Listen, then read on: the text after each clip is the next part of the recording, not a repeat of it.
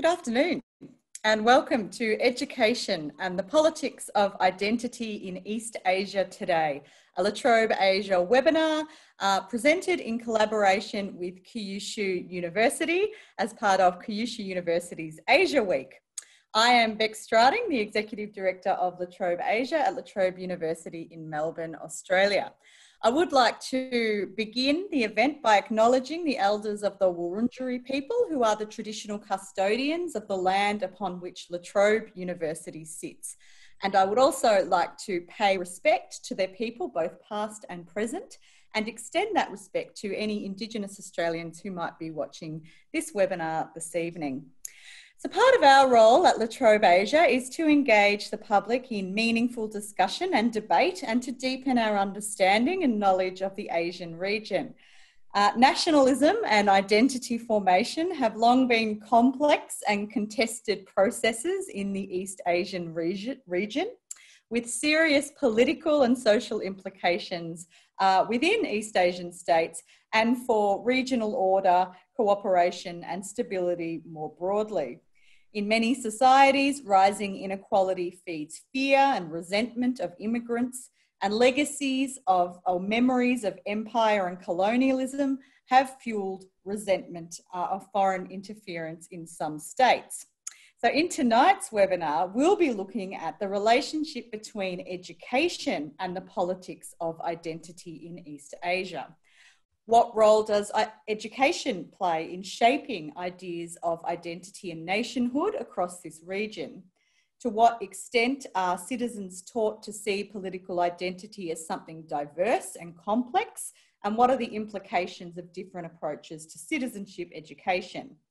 And should we see education as a potential tool for promoting national reconciliation or as a dangerous weapon for inciting hatred and division? So these are some very important questions. And here with me to try and untangle some of these pressing issues is our expert panel. Uh, first, Professor Kaori Okano is a professor of Asian Studies and Japanese at La Trobe University.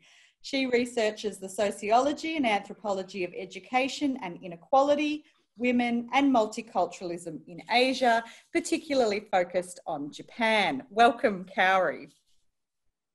Hello. Professor Ed Vickers is Professor of Comparative Education at Kyushu University. He researches contemporary history of education in Chinese societies with a particular focus on the role of schools and other public institutions in political socialisation. It's great to have you here, Ed. Thanks very much. Cheers. And finally, we have Professor Tzu Bin Lin, who is an Associate Vice President for Academic Affairs at the National Taiwan Normal University.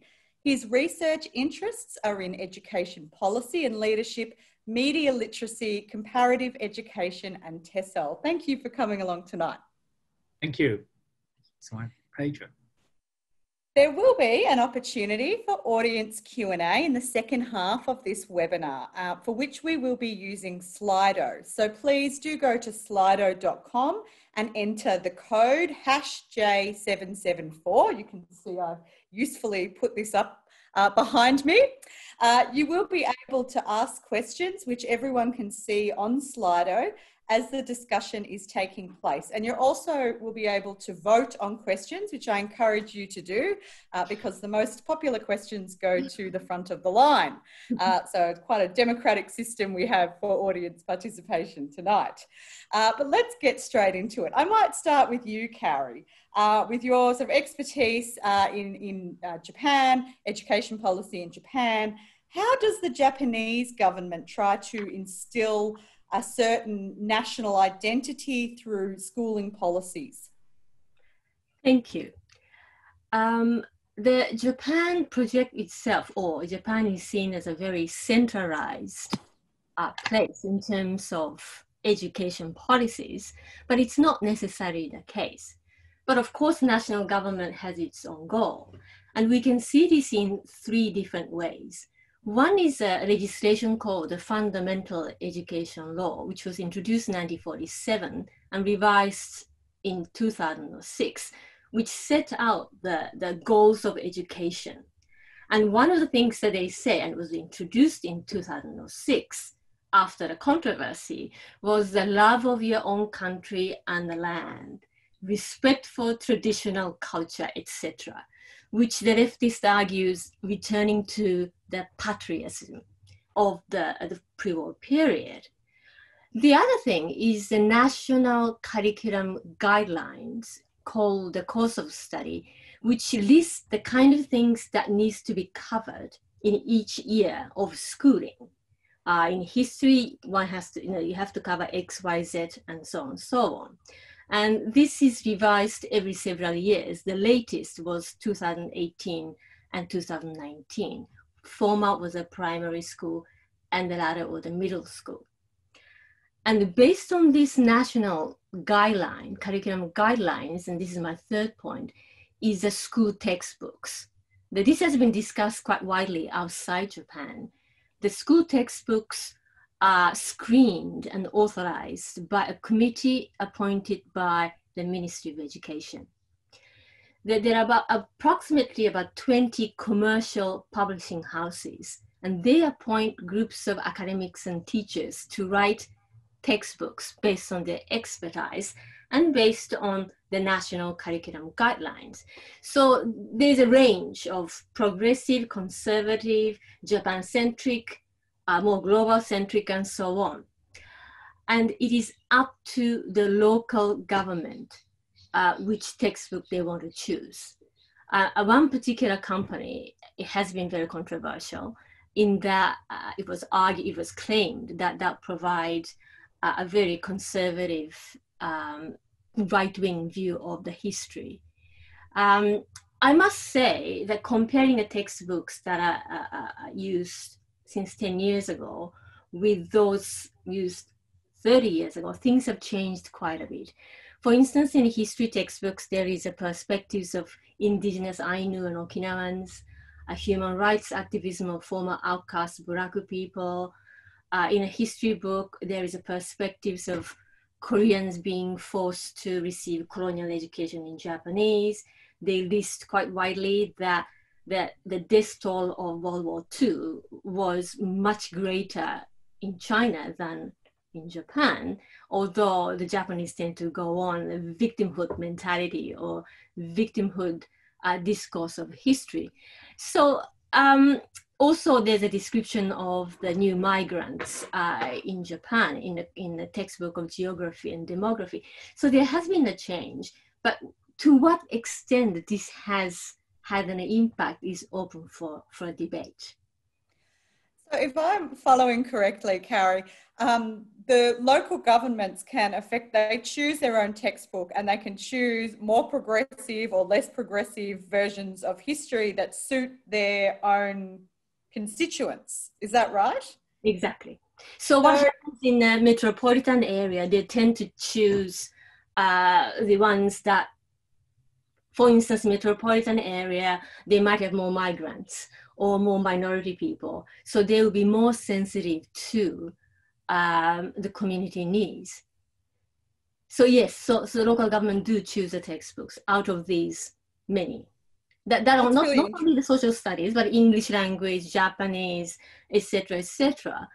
And also um, the for the senior high school, it's, it's an individual school decision to choose a textbook.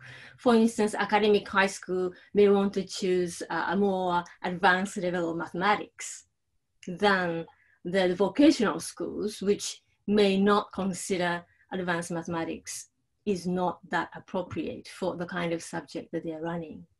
I wanted to, to ask you about that, about how, you know, you've got this overarching picture of educational policy. How is that implemented at the, the school level? Uh, what sort of agency do teachers have or do schools have uh, when it comes to uh, delivering education policy?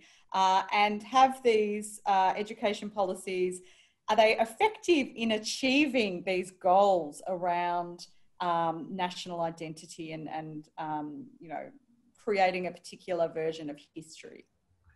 Well, I don't think um, creating a particular version of history, I don't think it's been all that successful. And this is partly because of the school teachers um, I have observed uh, classroom practice in Japan, both as a researcher or as a parent. They, what happens in, in within the wall of a classroom, no one knows what's happening. I mean, there's no inspection. There's no inspector going around to check what teachers are doing. So a particular kind of textbook can be used differently depending on what teacher want to do. Teacher may want to use a particular description within a textbook as a source of critique and so on. So there is a, a, great deal of agency at the level of local government and then in particular within the school. Um, and at the end of the day, I think uh, how effective uh, the goals of the government is achieved is depending on the teacher quality, what the teachers do. Um, in the case of Japan, uh, with the uh, in response to um, the critique of the pre-war education system, in particular teacher training, the all teachers are trained at university, while in the pre-war period, it was uh, it was trained in the so-called normal school, the teacher training college, which was uh, removed from the university, whereby the critical thinking uh, was not encouraged. Now the all teachers are trained at the university, so they are, to a greater extent, are more critical of what they're doing. The, in terms of the discretion that the local government have, uh, they, they are more uh, accountable. They have to. They are forced to be more accountable for the needs of the local need. You know, civil group might make a petition for the for say for instance new migrants who need a Japanese language as a second uh, language education, which school may not have had before. But they have to local education board have to respond to these uh, on the ground ground level requests, and therefore they tend to be more accountable to what actually takes place on the ground level. Really interesting. I might turn to Taiwan now. Uh, Bin, unlike Japan, Taiwan has a unique political status uh, in relation to the People's Republic of China. So I'm interested, how does the Taiwanese government try to uh, instill uh, national identity through schooling? Uh, and does its unique political status play a role in efforts to cultivate a particular uh, understanding of Taiwanese national identity? Okay, regarding the issue of national identity, I think in Taiwan we definitely uh, have a very strong impact on different political ideology.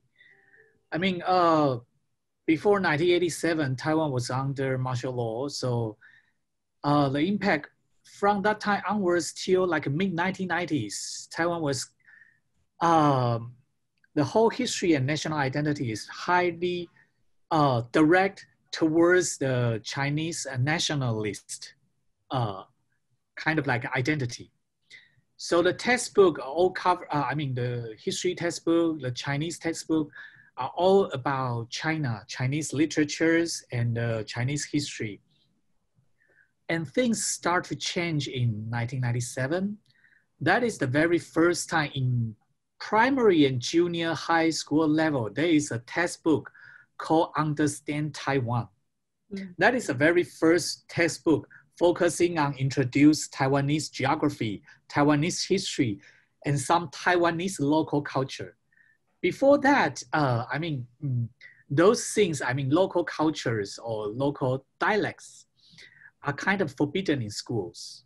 Uh, when I was in primary schools, actually, I was, uh, at that time, the primary school teachers, they forbid students speaking their own dialect, I mean the mother tongue at home. At school, you can only speak Mandarin. Otherwise, you will get punished if you speak your mother tongue. Mm. Yeah. So that is what happened in 1980s and 19, early 1990s. But after 1997, I mean, under Lee Teng-hui's presidency, things start to change. We, uh, the education start to put more emphasis on local stuff mm. including mother tongue language. So uh, in the, about 2004, when the grade one to nine integrated curriculum guideline was introduced, um, the dialect, the mother tongue become one of the subject in primary school. So that's a huge change in the education system because it represents uh, the respect to local culture. Okay, so from that time on, uh, more and more uh, changing changes in education try to foster a more Taiwanese identity, if I can address that, like uh, you use this term, like Taiwanese identity. And it's kind of like uh, against a kind of a, a super big uh, Chinese identity uh, that uh, that was very significant uh, pre mid 1990s. And then uh, after that, in 2006, uh, the Taiwanese history and geography was firstly introduced to senior high school. And remember from year 2000 and 2008, it's under uh, Chen Shui-bian's presidency, it's DPP party. Taiwan, there are actually two kind of major parties representing two different ideology. KMT is Chi Chinese nationalist. DPP is more like a pro-independent, try to have a local Taiwanese identity. So in 2006, all the Taiwanese history and local stuff was introduced all the way up to senior high level. So from that time on, uh, uh, the younger generation do have certain impact from their education because uh, based on the uh, longitude uh, survey done by the Election Study Center at the National Chengchi University, they studied survey from 1992 all the way till now. So every year they do this survey and they are asking uh, people questions. Do you consider you are a Chinese or you are a Taiwanese? Hmm. Okay. And in uh, before 2007, most of the Taiwanese, uh, I mean, more than half of Taiwanese actually consider that uh, we are Chinese or China, both Chinese and Taiwanese. But 2007 is the turning point. Those people after 2007, those people identify themselves or answering, answering that uh, we are Taiwanese. That is the very first time uh, the percentage is over those who consider they are Chinese. So 2007, it, it started change. And gradually, uh, especially under younger generation, for example, this year, uh, during the age cohort of 20 to 29, more than 80% of them in, in this cohort, 80% of them consider they are Taiwanese. And the percentage, if we move to those who are above 40, is about half and half. So you can see the, well, the younger generation, they are more uh, tend to identify themselves as Taiwanese. And if you put this together with the change of the textbook and uh, in the education system, try to introduce more Taiwanese stuff, including dialects or Taiwanese history. Even in the latest uh, curriculum guideline, especially for history uh, the Chinese history, uh, uh the portion of Chinese history was uh, hugely cut. So we, we only start to introduce what happened in China after Tang Dynasty. So that means Han Dynasty and those uh, the romance of the three kingdoms were no longer exist, existing in the current history textbook. Actually, it caused a, a, a public debate recently taking place in Taiwan. Some history teachers complaining that if we don't study the past, how can we know who we are now? Because China, uh, the history of China actually was put into part of the a bigger uh, historical arena called the history of East Asia. And then we inc increase the portion of Taiwanese history. So that is the most recent curriculum guideline. And the textbook actually was uh, already published and the schools start to use that. But still, we, are, they, they, we still have debate on this. But apparently you can see once the curriculum guideline changed, the textbook changed, and it, it definitely has certain impact on younger generation.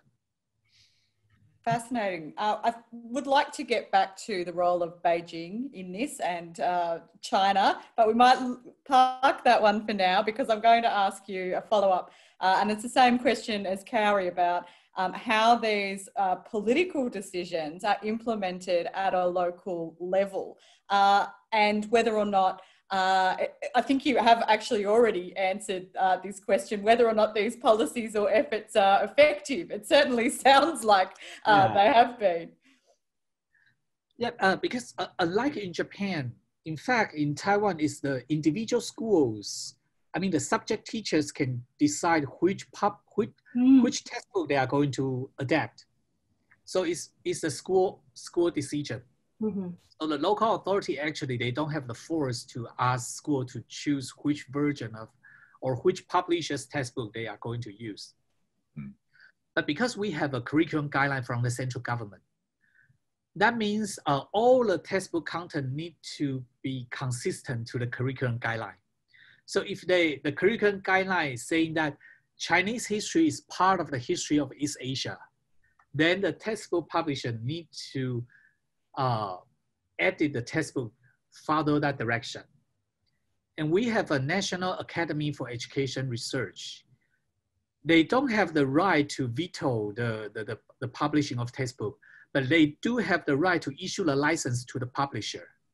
So they review the uh, textbook and make sure the content of textbook actually is follow the curriculum guideline.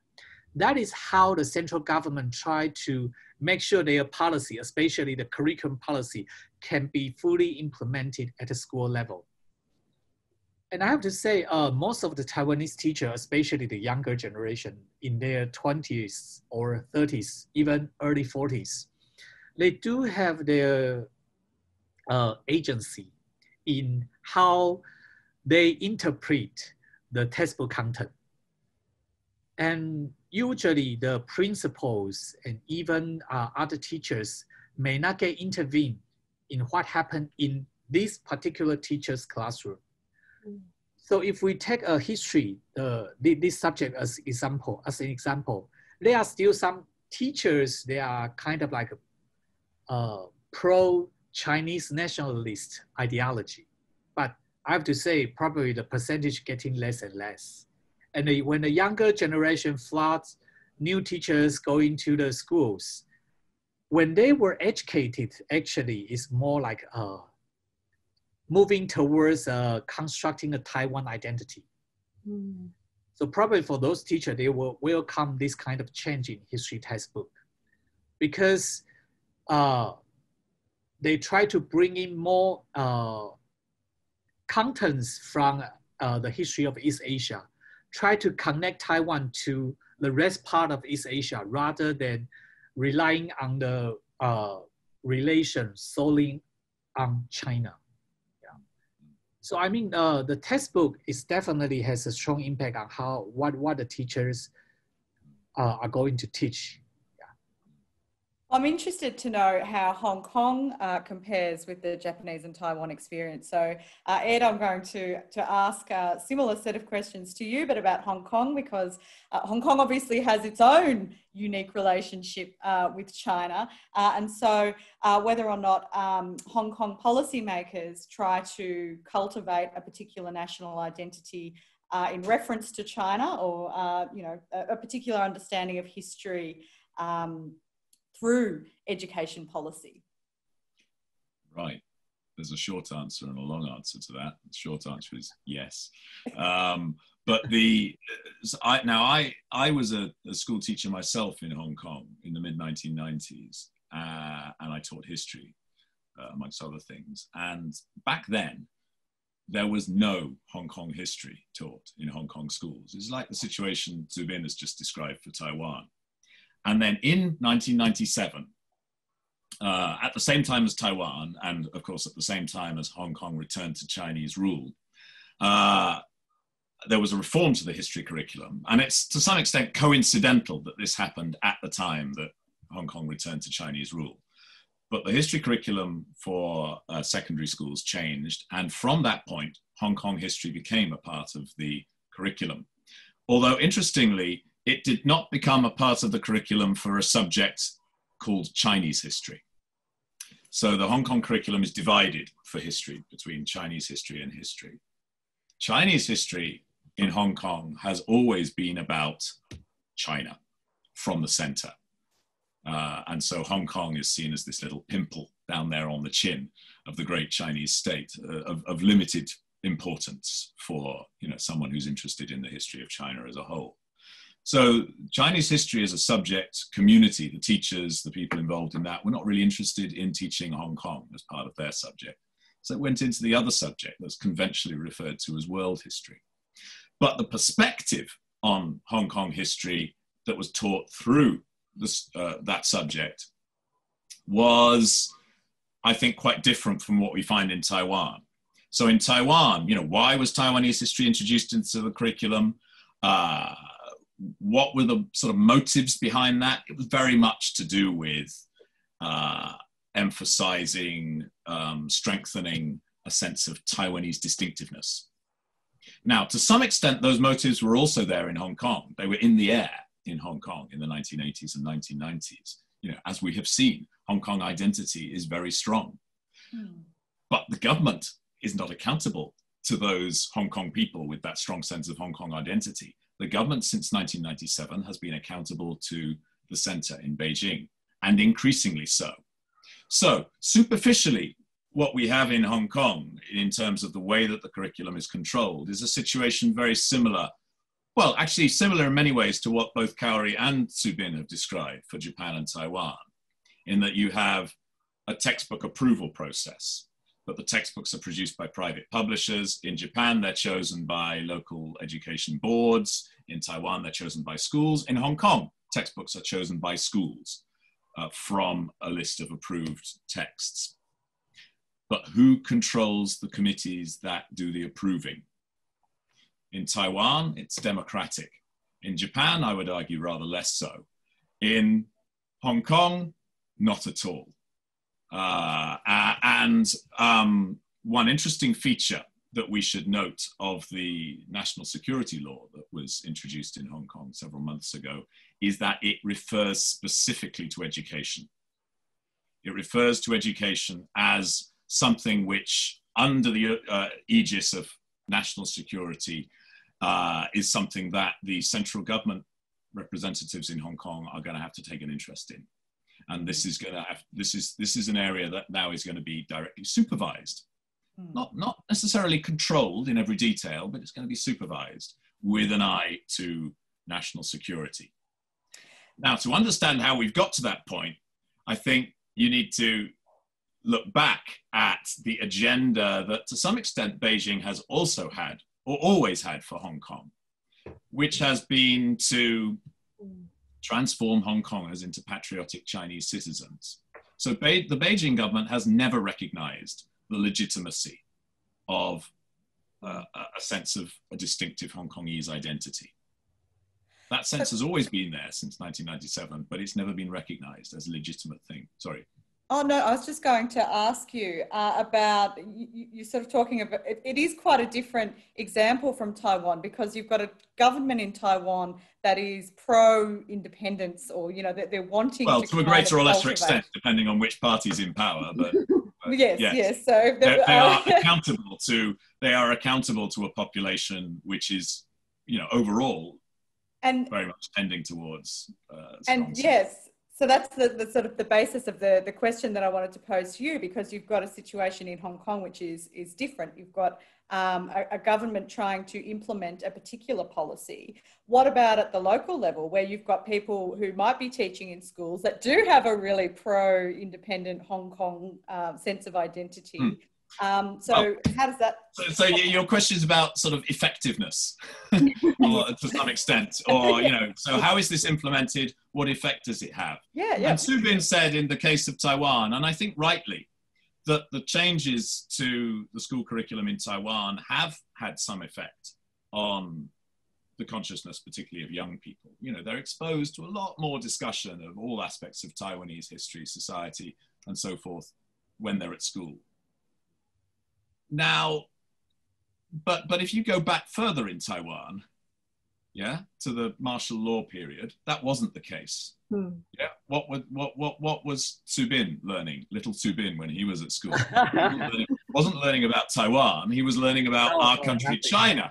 Now, I, I can't speak for Tzu Bin, but if you look at, if you assume that what's in the curriculum sort of gets absorbed by uh, these little these children at school as if they're little sponges, then how do you explain the fact that since the 1990s, Taiwan has reacted against all of that Chinese nationalism and has taken the direction that Tzu Bin was describing? Mm-hmm. Well, you, you have to look at whether the messages that the government is trying to promote actually chime with the lived experience of the people it's trying to influence. And in Taiwan in the 1980s, telling people that you know, your country is China when hardly any of them have ever been there, uh, and when it's governed by a regime that's completely different from what they experience on Taiwan, is alienating. Mm. In Hong Kong, it's also alienating uh, to be told that you know you are Chinese, this is your country, uh, and and to be also to be taught Hong Kong about Hong Kong history and society, but perhaps to be taught about it or to be, you know, uh, on the receiving end of messages about Hong Kong from the government, which do not chime with your experience, especially if you're a young Hong Konger. So the, the Hong Kong government, ever since 1997, has been tasked by Beijing with promoting national education. And increasingly over the last decade or so, this, this pressure on Hong Kong from Beijing national education. What's going on? Why are these young people not patriotic? You know, reinforce, strengthen national education.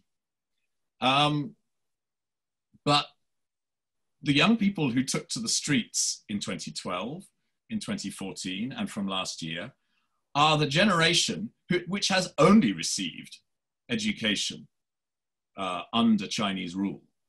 Yeah, so if national education was going to have any effect, they're the litmus test and they are the proof that it it has had the opposite of the intended effect. Mm.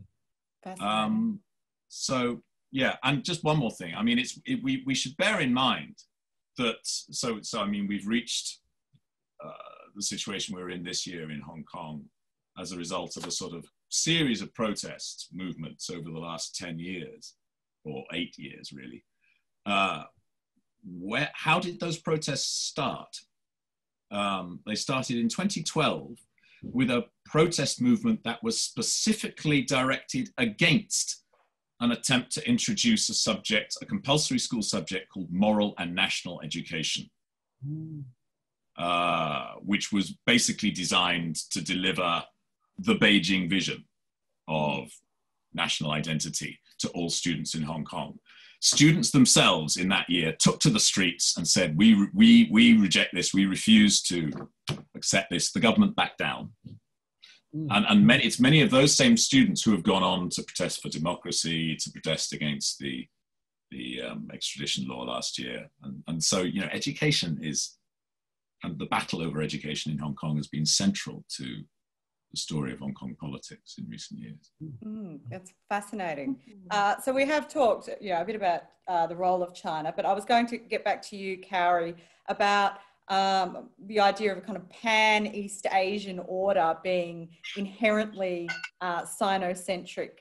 Uh, what does this mean for, for nation formation in, in particular states and the specific elements that feed into identity construction, including language, but also including history um, and how we, we understand the big contests and battles that have taken place in East Asia uh, through centuries? Yeah, well, um, the people in Japan makes a quite a distinct distinction between Chinese civilization and PRC political system.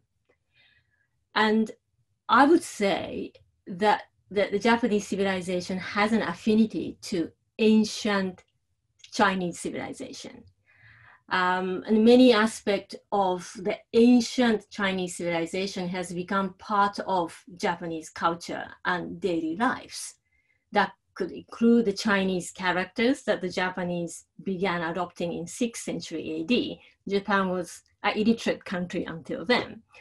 They imported Confucian ideals, Buddhism, etc., etc. So people actually experience this element of ancient Chinese civilization every day, often unconsciously, and also they learn through schooling as well. For instance, calligraphy is compulsory as part of Japanese subject. There's a subject called Nihongo Japanese, and part of it they do a calligraphy. Part of it they learn Chinese classics. They read Confucius, etc., Chinese poetry in ancient Chinese language. It's not that you know you read in a translation into modern Japanese. They actually look at the Chinese text and then they learn how to read them in a Japanese way, not the Chinese way. So, so they don't see these Chinese classics not necessarily as a foreign thing. They see it as a part of uh, a part of Japanese literature, Japanese culture. So, in that sense, I think there's certainly a sense of uh, Sino, ancient Sino-centric civilization that actually prevails in contemporary Japan. But there's definitely a distinction that they make from the, the current PRC regime. And I think that the, the Japanese, ordinary Japanese citizens are very sensitive to the authoritarian political regime in comparison to Australia, uh, precisely because they actually experienced it uh, until during the war. So they've experienced authoritarian regime where there is no freedom of speech, no freedom of association, etc., etc. And now that they have a benefit of uh, enjoying liberal democracy, democracy, although there are some inadequacies and limitations in there, uh, I think they are very sensitive to uh, what they see in the PRC political system. So my answer is that yes, I think there is some element of uh, ancient, uh, ancient uh, Chinese civilization centric uh, idea there in, in, when we talk about East Asia. Uh, it's only that Korea, it doesn't use the Chinese character. The, the rest, Hong Kong, Taiwan, mainland China, Japanese, Chinese character. It's like a Latin and Greek in Europe, I would say. The, the, the Chinese characters have higher social status and intellectual status in Japanese writing. Mm. And therefore, my name, my, my name, Kaori, is in Japanese phonetic alphabet because it's considered as feminine and somewhat unintellectual, less intellectual. But you won't see boys who have uh, Japanese alphabet names. So I think it's still, it's not that, you know, my parents are very conservative, but it's still, I think, it's, it's still experienced in, um, in a daily life. Mm. So, it's so interesting. Um, Tzu Bin, I might bring you in here for this question about the sort of sinocentric nature of East Asian and particularly trying to, um, you know, create distinctiveness uh, and, and, and the use of, of, of language and history and, and, so on. But also hoping to, to uh, ask you another question alongside that, uh, and that is whether Beijing has had any attempt to influence um, Taiwan's education policy as it sort of um, tried to increase or, or, cultivate a sense of distinctive Taiwanese identity. Okay, so if we go back to the Sinocentric kind of ideology or cultural identity, something. I mean, in Taiwan, I mean, before mid 1990s, as probably as Ed just described, actually, uh, what we learn is mostly overwhelming almost overwhelmingly is from uh, traditional Chinese. Traditional Chinese culture, we need to do calligraphy. And even when I was, uh, when I when I serve in the, because in the past, all the Taiwanese male need to serve in the military for two years. Mm. And a lot of those things uh, from school all the way to, to, to the mini, mini, military camp, uh, the base, actually uh, uh, a lot, we have a strong influence of Chinese culture at that time. But after mid 1990s, the government tried to play down this part. And I can give you an example. they lower the percentage of traditional Chinese literature in Chinese textbook.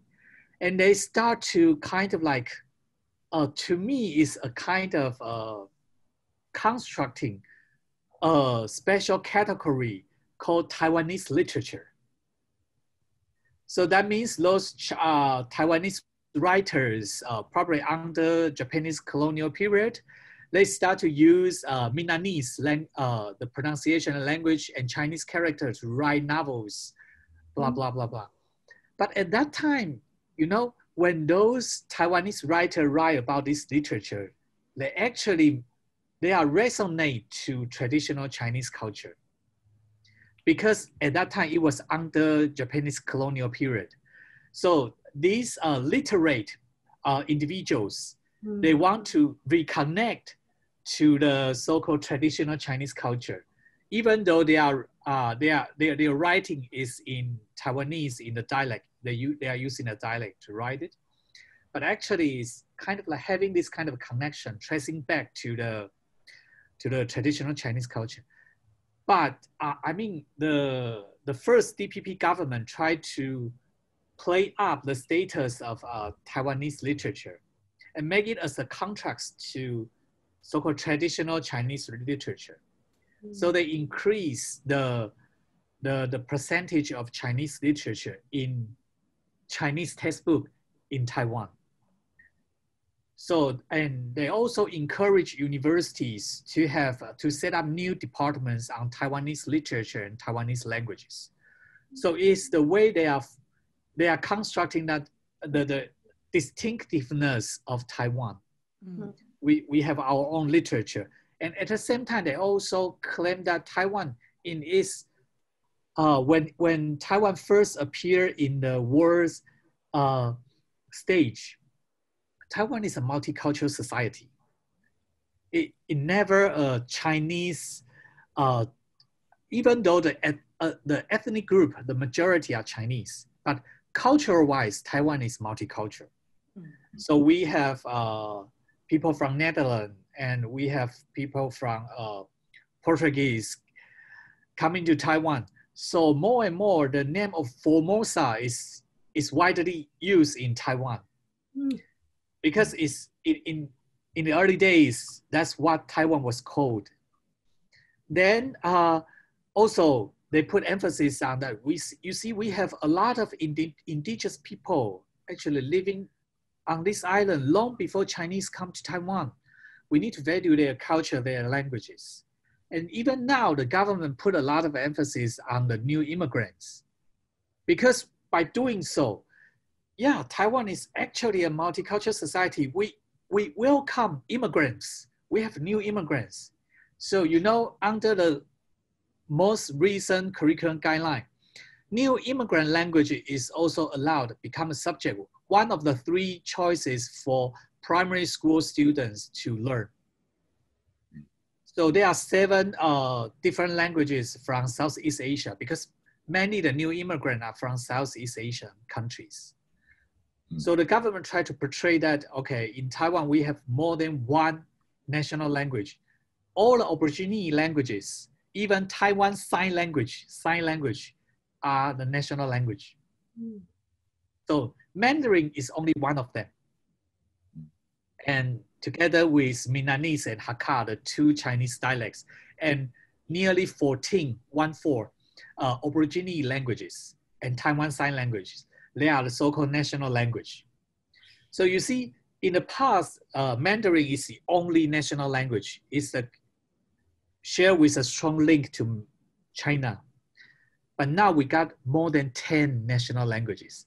And also the government introduced the bilingual policy in this, uh, in the past two to three years. So English probably in the foreseeable future, maybe 10, 15, 20 years will become one of the official language of Taiwan. So they are promoting, uh, but the legitimacy to have English is to internationalize. Yeah, to connect to the world. So fair enough. But you see, in Taiwan, we have uh, they use language policy also as a means.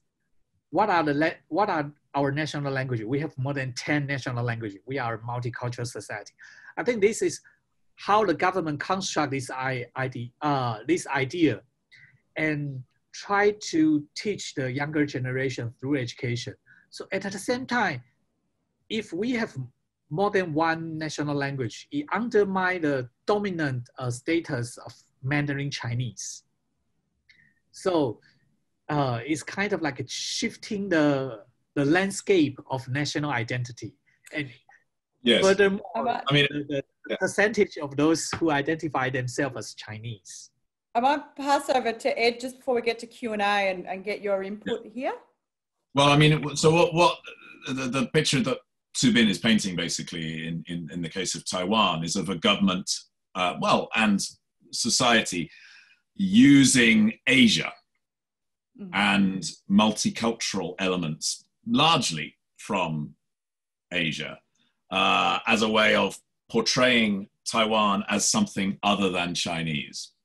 So multiculturalism in Taiwan and diversity becomes folded into this um, message that Taiwan is not simply Chinese. It's more complicated. It's it's a diverse, multicultural Asian society, uh, and Taiwan, within at least Northeast Asia, is quite unusual in using Asianness in that respect. Japan doesn't, Korea doesn't, China doesn't, Hong Kong doesn't. So just um, on Hong Kong, I mean, does, does Hong Kong use its uh, sort of British colonial history in a way to demonstrate some unique? Well, when we, when we talk about Hong Kong, we have to be aware of, you know, who has agency in Hong Kong. So um, does Hong Kong use its British heritage? Well, of course, the British heritage is there. It, it's something that, you know, can't be denied. But there's been a uh,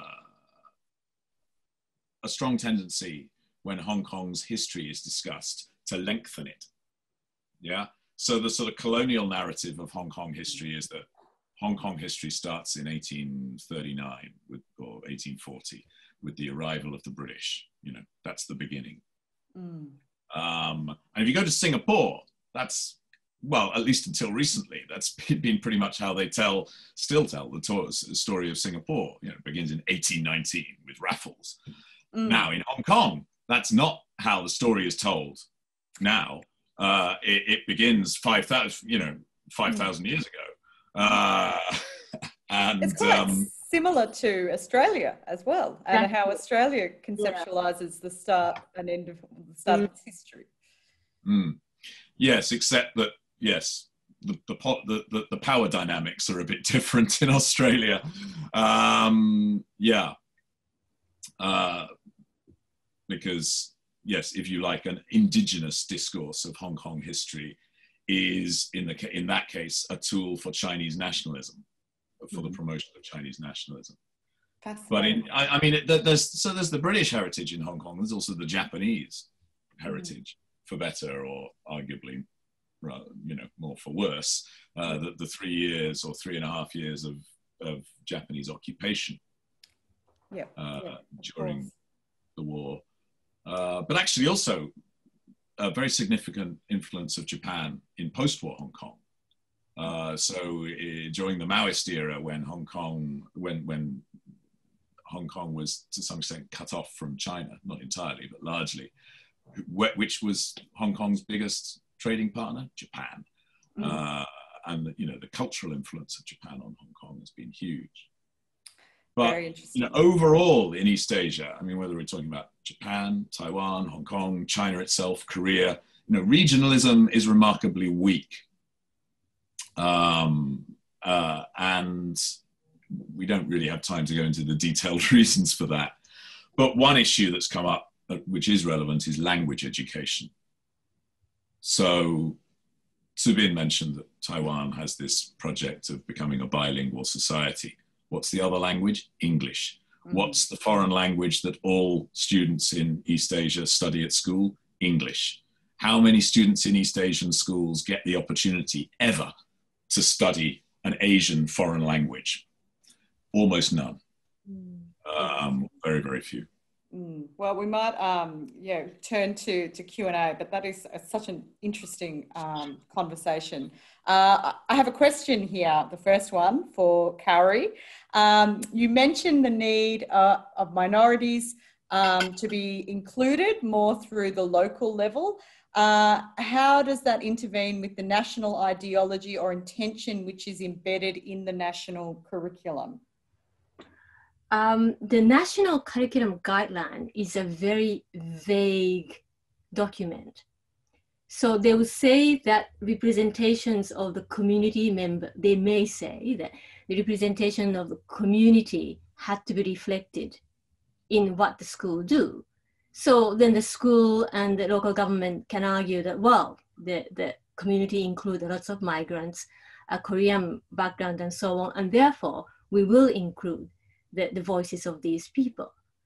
So the, in, in that way, I find that the way in which local government and individual schools selectively and variously interpret the national directive in order to suit the local circumstances is quite in, ingenious. Some, some government does it more successfully than others. And Osaka metropolitan government is very good at this. Interesting. Uh, we have a question here about Taiwan. So I might pass this one to, to you, Tzu Bin, uh, and then Ed for your comment if you've got anything to add. Uh, but this is about multiculturalism. So we've actually got a couple of questions here about multiculturalism. Um, does the Taiwan, uh, does the Taiwanese government's message of Taiwan as Asian and multicultural resonate with Taiwan's people, uh, the Taiwanese people's lived experiences, or is that more of a top-down approach? Uh, there's another question here, which is uh, to the asking about the extent to which um, Taiwanese students are taught about multiculturalism or are taught to be uh, to, to, consider themselves as part of a multicultural society. So I'll start with uh, you, Tzu Bin. Yeah, I mean, currently in schools, multiculturalism is definitely political correctness. And uh, students, I think, are widely accept this kind of idea. Taiwan is a multicultural society. Even the even advertisement from the government is trying to tell people that Taiwan is is is multicultural. We have indigenous, we have new immigrants, and just like I mentioned in the curriculum guideline, we even put the new immigrants language as a part of the primary, uh, primary level uh, curriculum.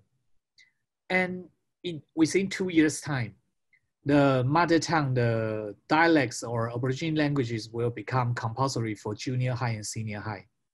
Hmm. Yeah, so all the way up there. And at the same time, like Ed just mentioned, English is again um, are having more emphasis in schools ever. Because in the past, we have a subject called English. Now with so-called bilingual agenda, uh, students, they, not, they are not only learning Mandarin, they need to learn the, uh, the mother tongue, the dialects or Aboriginal languages. And now, as English become bilingual, uh, different subject teachers, they need to use bilingual to teach. That means English and Mandarin. So is how how this uh so this all this message coming to schools teacher know that yeah and in fact they have a very the teachers in taiwan they do have a very high agency regarding their teaching so uh i mean the, the the freedom of speech is i mean it's very high in taiwan. So the teachers actually they different teachers they give uh, students different ideas. And now we put uh, with the new curriculum guideline we put more and more emphasis on the criticality of students uh, the value of different voices and a, a, more democratic approach to to that. Yeah.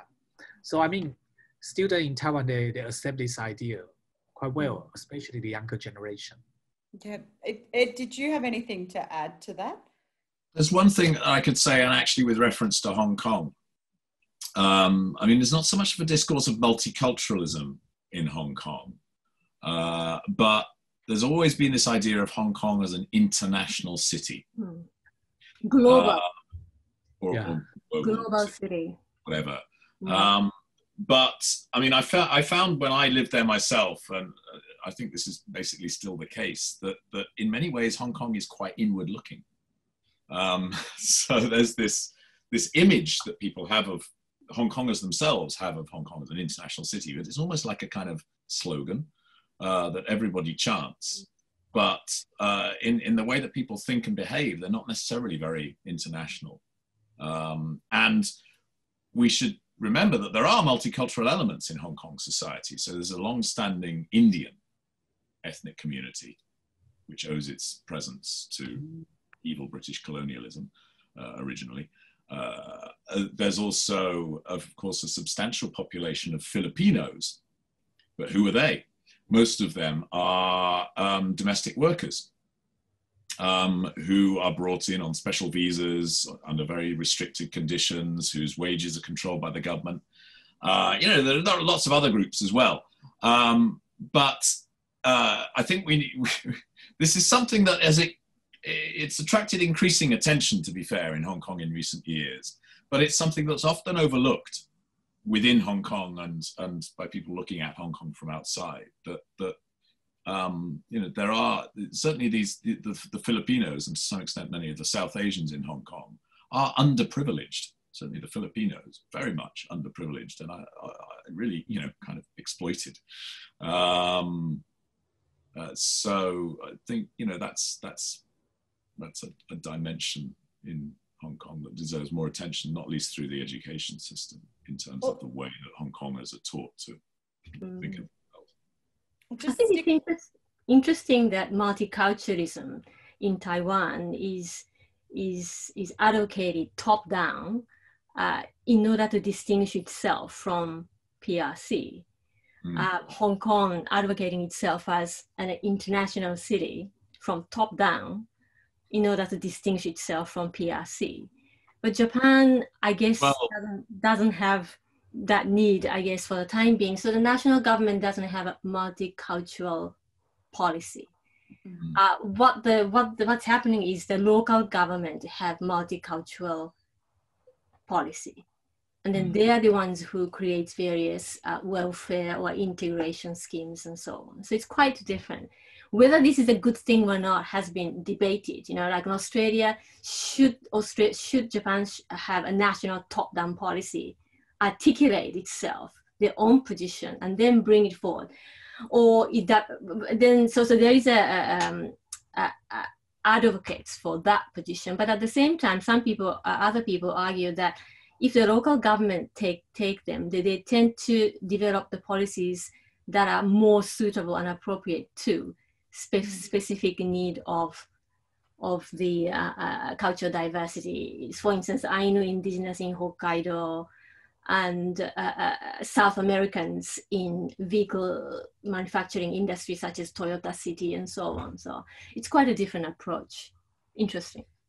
I think we've got time for one more question. This is quite an interesting question. It gets to some of, uh, I guess, what you were talking about, Ed, with the idea of the global city or Hong Kong as a, as a global um, city. Uh, and this is about the International Baccalaureate um, and whether or not the IB uh, curriculum uh, could promote the value of global citizenship in contrast to localized identity. Uh, and I've just, uh, yeah, so do curriculums in Japan, Taiwan, Hong Kong contain such type of content about the global citizen. So if we could have uh, a minute each, uh, Kaori, what's what's Japan? Is there global citizenry citizenry content in the curriculum? But government talks about it. Global citizenship is a kind of buzzword among the educationalists uh, in Asia, in, in Japan as well. It's supposed to be convened, conveyed through the social studies um, courses and so on, and moral education. IB is not widely um, used in Japan. Obviously, international schools use it, but, uh, but there are some schools which have uh, advocated IB in the Japanese language version, mm. but not to the same extent as in Hong Kong and an Australian private school. So in Taiwan, I mean, is there a, is there a global citizenry content um, that you can speak to? Yes, I mean in the citizen uh, curriculum, this is definitely part of it. So like the SDGs, the uh, sustainable development goals actually is very popular as a topic to be discussed in social studies from primary level all the way up to university. So that's one thing. And talking about IB now, I mean, in Taiwan, it's slightly from Japan. Uh, quite a few public schools, uh, junior high and senior high schools, they want to make themselves in become IB school. They are public school, mm. they are mm. state school, and they are funded by local authority to mark a milestone in the in in, in that local authorities uh, area, saying that we have an in public international school rather than private ones. For example, Taipei and Taoyuan City both are competing to have the first IB state school. Okay. Mm. So Ed, I might give you the final word. Right, global citizenship. Well, I mean, one thing to say about global citizenship is that, uh, I mean, you know, on its own, it's a bit of a nebulous concept. How can it be operationalized? Well, to to to be uh, or to have a sense of yourself as a citizen of the world in any um, meaningful way, your local or national community needs to be recognized or needs to be part of a global community. Um, and you know, this is of course a very sensitive issue in the case of Taiwan, because Taiwan's not recognized. Hmm. Um, you know, Taiwan is kind of in that sense excluded from global citizenship, or its only uh, you know recognized avenue to um, membership of the global community goes through Beijing, uh, and ditto with Hong Kong. Um, but I mean, I, I, would say that if we're talking about East Asia, or indeed any region of the world, um, before we talk about global citizenship, which I think is is important in many ways, because many problems that we face are global, right? Climate change, coronavirus, they are global problems. There are many global problems that we face. But in terms of dealing with whatever problems we face, what comes first? The local community, the nation, and then the region. And what is really missing in East Asia is any, as we've already mentioned, is, is any real sort of consciousness uh, of a regional identity or, or a sense that East Asians together share a common destiny and, you know, hands across borders, we can work together uh, to uh, collaborate in facing our shared problems. That is totally absent. Hmm. Uh, but, but I wonder whether this lack of uh, regionalism is, is partly to do with the, the political regimes are quite different. Yeah, oh yeah, Okay. Yeah, I mean there are there are reasons that there, there, are. Yeah. It's it's easy to understand. I think in many yeah, ways why. Me, in particular in East Asia, that so it's not enough to moralize about this and say isn't this yeah, terrible? Because well, yeah, I mean there is definitely the, the the line drawn in terms of political system, liberal democracy versus mm. otherwise. Mm. So to to to to to, to consider the long term shared mm. identity could be quite a challenge. Um, but I yeah you're right, but I think but I think there's there is a, there are practical steps that governments and education systems could take uh, to promote greater sort of understanding and greater sort of shared identity. And one of those is the teaching of modern Asian foreign languages. Mm. Okay, I think we might have to leave it there. Maybe the steps is uh, a topic for a future webinar. it sounds like another interesting discussion about how to go about strengthening East Asian regionalism. Uh, but I'm afraid that we are out of time. Uh, so I would like to thank our panelists. Uh, it's been an incredibly rich um, discussion. Uh, I've learned a lot uh, as somebody who um, doesn't sit within within this discipline but has a, a strong interest in Asia. I found it an incredibly fascinating discussion. So thank you to our panelists uh, and thank you to our audience for watching this La Trobe Asia event. Uh, this webinar has been recorded. If you've registered for the event, you'll, you'll be emailed the appropriate links when they are ready. So please follow us on Twitter at La Trobe Asia or join our mailing list uh, to find out more details for online events and La Trobe Asia publications. But uh, thank you again to our panel. Uh, that was a terrific discussion. Thank you very much. Thank you. Thank you. Thank you.